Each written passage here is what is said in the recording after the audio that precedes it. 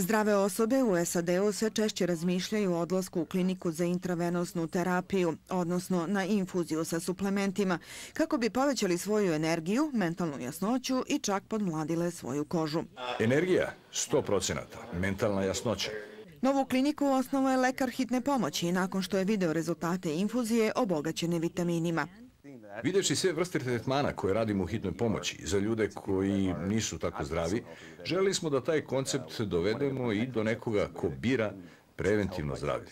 Oralni vitamini imaju stopu apsorpcije od 30%. Intravenozno apsorbuju se 100%. Međutim, kritičari kažu da nema razloga da se menja ono što preporučuje Odbor za hranu i lekove Nacionalna akademija nauka Sjedinjenih država. Govorimo o davanju vitamina izvan standardne procedure. Pri preporučivanju dnevne doze dodataka uzima se u obzir apsorpcija, pol, rasa, starost, težina. Nije to proizvodni broj, već je sve to uračunato u zvaničnim preporukama. Protivnici novog zdravstvenog trenda upozoravaju i na razne opasnosti povezane sa intravenskom terapijom, uključujući moguće modrice, grudvice, krvarenja i infekcije.